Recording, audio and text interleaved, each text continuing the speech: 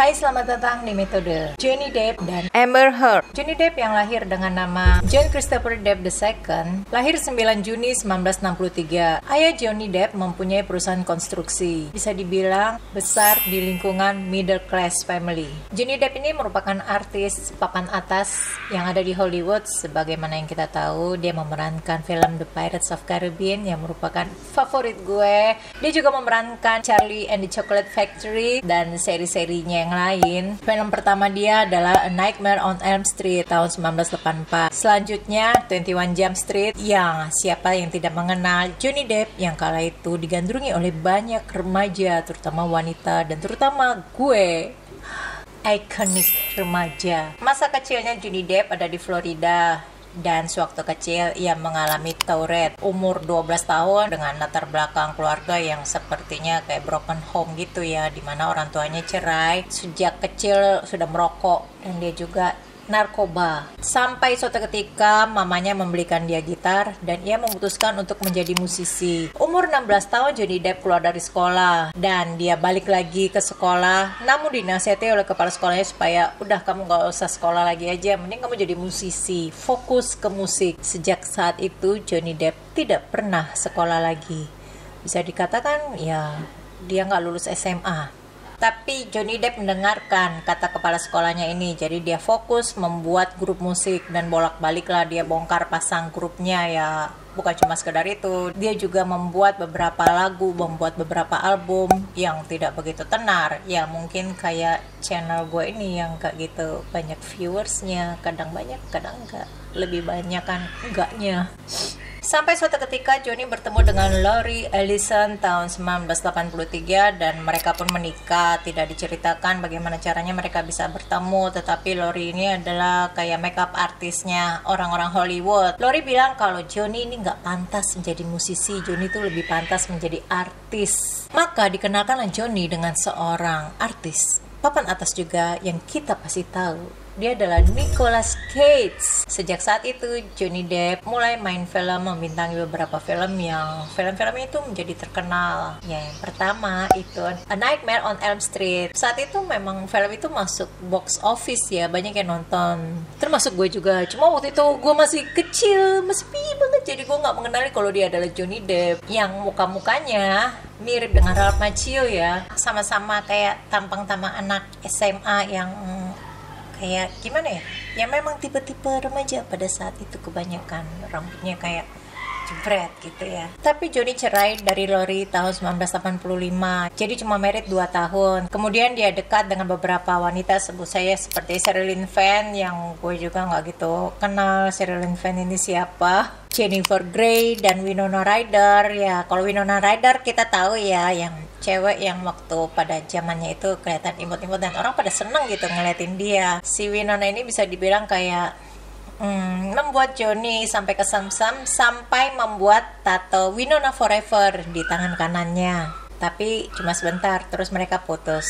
Terus kencanlah dia dengan Ellen Barkin. Kate Moss, Kate Moss adalah supermodel pada saat itu ya. Ya, supermodel yang sangat-sangat kurus yang jalan di catwalk kayak bagaikan manekin saking kurusnya malah lebih berisi manekin ya tapi kemudian putus juga Terus dia jalan dengan Vanessa Paradise. Punya dua anak dari Vanessa ini, tapi nggak dinikahin dia. Yang ada si Johnny malah kesemsem dengan Amber Heard. Yang waktu itu mereka sedang mau main film The Rum Diary. Di situlah mereka tuh ketemu dan menikah 2015. Tapi cerai 15 bulan kemudian. Apa yang menyebabkan perceraian ini? Ya selanjutnya kayak karena ada pertikaian di antara mereka ya sebagai suami istri tapi entah kenapa mereka bisa menikah terus kenapa mereka bisa saling serang kenapa bisa Ya, kita lanjutin dulu. Mulai ke Amber Heard. Jadi Amber Heard ini lahir 22 April 1986. Selisih 23 tahun ya pada saat mereka menikah. Ya, lebih tepat kayak bapak dengan anaknya. Tapi ya nggak terlalu jauh juga ya. Tapi ya mungkin kalau di beberapa daerah tertentu ya hal itu seperti hubungan bapak dan anak dapat daun muda gitu ya selisihnya. 23 tahun jauh juga. Amber yang pertama kali mengajukan cerai di Mei 2016 di mana saat itu? Amber kayak mengajukan untuk penahanan atas Johnny Depp yang telah melakukan KDRT terhadap dirinya. Sehingga pada awal 2017 mereka pun resmi cerai. Dikatakan Johnny ini telah melakukan kekerasan secara verbal secara fisik. Terutama pada saat Johnny ini sedang ada di bawah pengaruh alkohol dan juga obat-obatan. Umur segitu masih ada pakai narkoba. Ya, gue nggak tahu betapa stresnya kehidupan orang Hollywood di situ ya karena tuntutan pekerjaan atau diburu paparazzi sehingga kehidupan privasi mereka agak-agak kurang apa ya harus terekspos gitu ya harus terbuka. Jadi dia merasa mencari kenyamanan di balik obat-obatan. Mungkin gitu kali ya. Atau juga ada ketergantungan yang dia tidak ingin disembuhkan.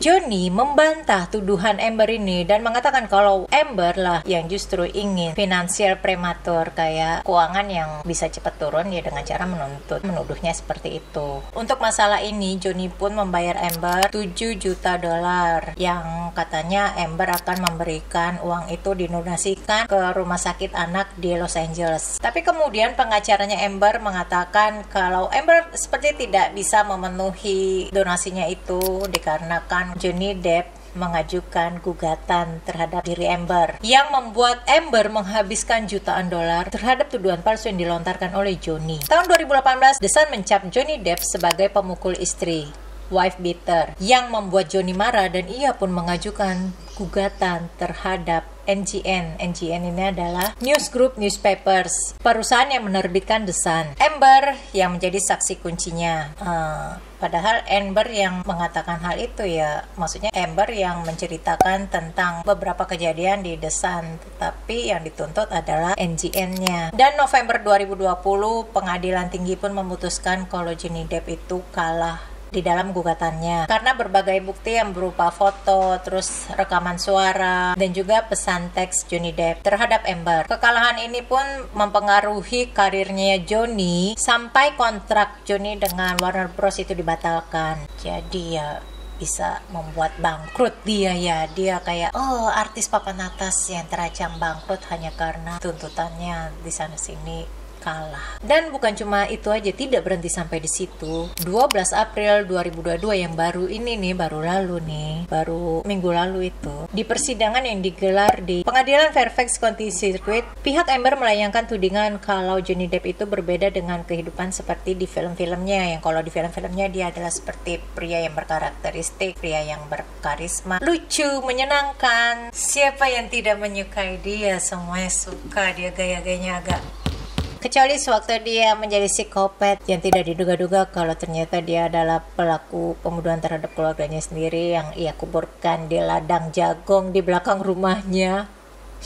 Apalagi perubahan sikapnya ini lebih-lebih di saat Joni dalam keadaan mabok di bawah pengaruh alkohol dan narkotika. Dia ini sering marah, melakukan pelecehan seksual, melakukan pelecehan verbal, pelecehan secara fisik, emosional, yang juga ditujukan dengan bukti foto. Teman masa kecil Joni membantah tuduhan ini dan mengatakan kalau ia tidak melihat luka, apalagi Ember, luka itu kan di wajahnya Ember ya kayak seperti ada cakaran, ada bruise, ada memar gitu ya. Ia mengatakan pada saat ia melihat Ember, ia tidak melihat ada luka-luka memar, ada luka bruise, ada luka gore seperti itu. Apalagi Ember jarang memakai make up.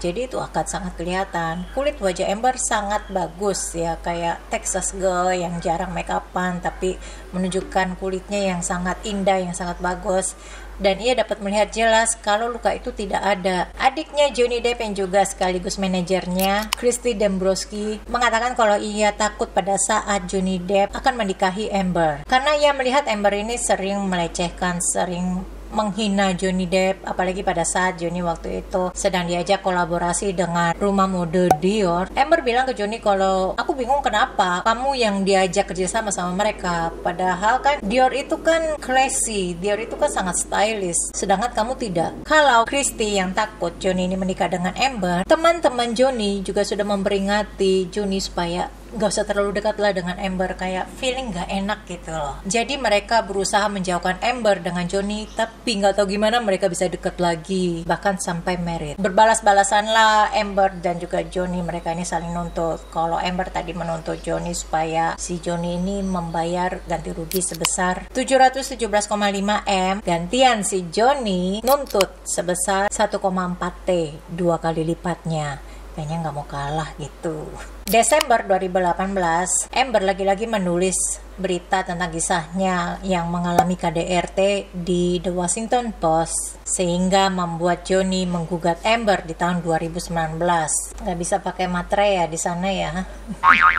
Agustus 2020, Amber pun balas menggugat Johnny yang katanya telah mengordinasikan kampanye pelecehan melalui Twitter dan buat petisi online agar Amber dipecat dari Aquaman dan L'Oreal Paris. Kok bisa ya mereka jadian kalau endingnya kayak gini ya? Balas membalas, menuntut menuntut dan kayak pengen membuat lo sengsara, lo bangkrut. Bener-bener gue pengen ngeliat lo di pinggir jalan tidur di tenda. Apa yang bisa membuat mereka kayak cintanya kilat? Cintanya cuma sekejap, cinta lokasi aja. Padahal Johnny Depp ini bilang kalau Amber ini sweet as pie, pintar, seleranya tinggi, nyenengin. Di mana pada saat film The Room Diary itu mereka tuh jadi dekat, mereka tuh jadi akrab, terus tiba-tiba seketika jadi emosi hanya karena dibilang si Johnny itu sering vomit, sering muntah setiap malam. Kelanjutannya, kalau masih mau tahu, nantikan aja di video gue besok. Pada saat ini yang pengadilannya sedang berlangsung. Kalau kamu ada pertanyaan, kamu ada apa pun itu, kamu bisa komen di bawah. Jangan lupa like dan subscribe. Stay safe and stay healthy.